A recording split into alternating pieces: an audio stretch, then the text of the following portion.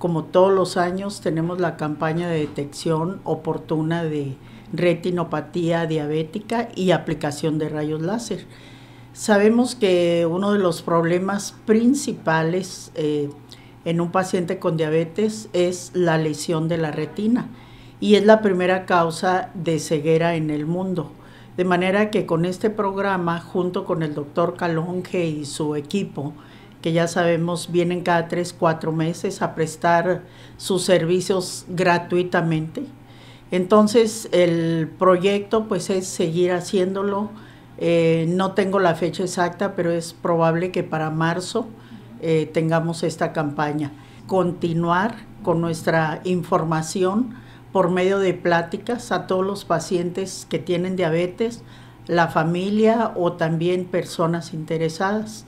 Lleguen a las metas, traten de hacer ejercicio, bajar de peso.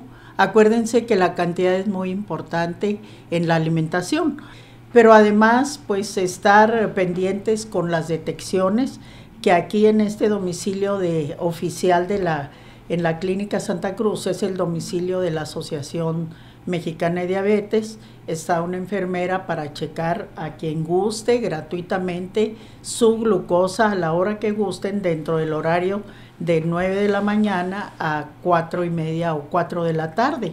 Ahorita estoy recibiendo muchos pacientes que pues en fiestas navideñas, fiestas decembrinas se excedieron vienen muy descontrolados de su diabetes, aumentaron de peso, su colesterol, triglicéridos. Entonces, enero es un buen mes para ponerse metas.